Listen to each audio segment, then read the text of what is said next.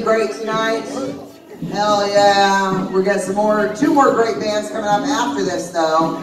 But give it up to Blacklist 9. Hell yeah, they opened this show up. That was amazing. That was amazing performance by Blacklist 9. Then we had some Dead as the New Black.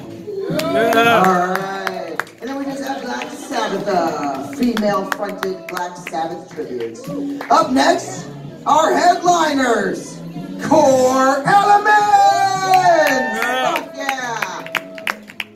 Get ready to be amazed. But yeah, then we're gonna have some Mexican American psychos in the house. Misfits tribute. Fuck yeah, we love the Misfits.